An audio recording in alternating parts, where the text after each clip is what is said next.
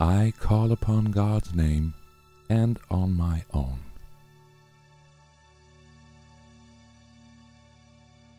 God's name is holy, but no holier than yours.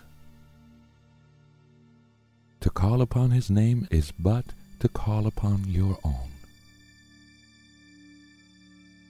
A father gives his son his name and thus identifies the son with him. His brothers share his name, and thus are they united in a bond to which they turn for their identity. Your father's name reminds you who you are, even within a world which does not know, even though you have not remembered it.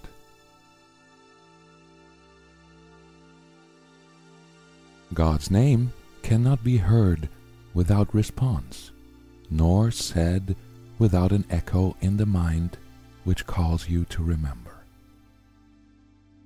Say his name, and you invite the angels to surround the ground on which you stand, and sing to you as they spread out their wings to keep you safe and shelter you from every worldly thought that would intrude upon your holiness. Repeat God's name and all the world responds by laying down illusions.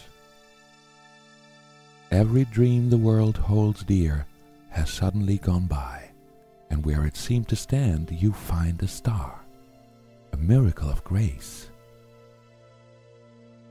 The sick arise, healed of their sickly thoughts. The blind can see, the deaf can hear, the sorrowful cast off their mourning, and the tears of pain are dried as happy laughter comes to bless the world. Repeat the name of God, and little names have lost their meaning. No temptation but becomes a nameless and unwanted thing before God's name. Repeat his name and see how easily you will forget the names of all the gods you valued. They have lost the name of God you gave them. They become anonymous and valueless to you, although before you let the name of God replace their little names, you stood before them worshipfully, naming them as gods.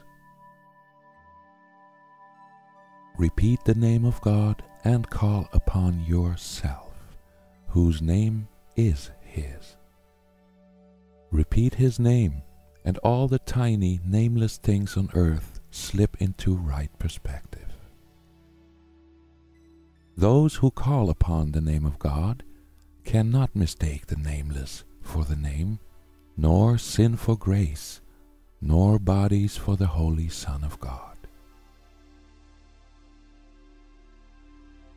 And should you join a brother as you sit with him in silence and repeat God's name along with him within your quiet minds, you have established there an altar which reaches to God Himself and to His Son. Practice but this today. Repeat God's name slowly again and still again. Become oblivious to every name but His hear nothing else. Let all your thoughts become anchored on this. No other words we use except at the beginning when we say today's idea but once. And then God's name becomes our only thought, our only word, the only thing that occupies our minds, the only wish we have the only sound with any meaning, and the only name of everything that we desire to see, of everything that we would call our own. Thus do we give an invitation which can never be refused, and God will come and answer it Himself. Think not he hears the little prayers of those who call on him with names of idols cherished by the world. they cannot reach him thus. He cannot hear requests that he be not himself, or that his son receive another name than his. Repeat his name, and you acknowledge him as sole creator of reality. You acknowledge also that his son is part of him, creating in his name.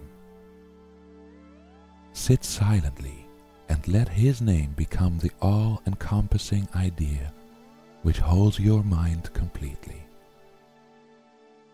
Let all thoughts be still except this one, and to all other thoughts respond with this, and see God's name replace the thousand little names you gave your thoughts, not realizing that there is one name for all there is and all that there will be. Today you can achieve a state in which you will experience the gifts of grace. You can escape all bondage of the world and give the world the same release you found. You can remember what the world forgot and offer it to your own remembering. You can accept today the part you play in its salvation and your own as well, and both can be accomplished perfectly. Turn to the name of God for your release, and it is given you. No prayer but this is necessary, for it holds them all within it. Words are insignificant, and all requests unneeded when God's Son calls on his Father's name.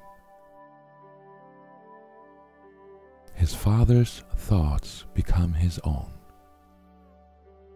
He makes his claim to all his Father gave, is giving still, and will forever give. He calls on him to let all things he thought he made be nameless now, and in their place the holy name of God becomes his judgment of their worthlessness. All little things are silent. Little sounds are soundless now. The little things of earth have disappeared. The universe consists of nothing but the Son of God who calls upon his Father. And his Father's voice gives answer in his Father's holy name. In this eternal, still relationship, in which communication far transcends all words and yet exceeds in depth and height whatever words could possibly convey, is peace eternal. In our Father's name, we would experience this peace today. And in His name, it shall be given us.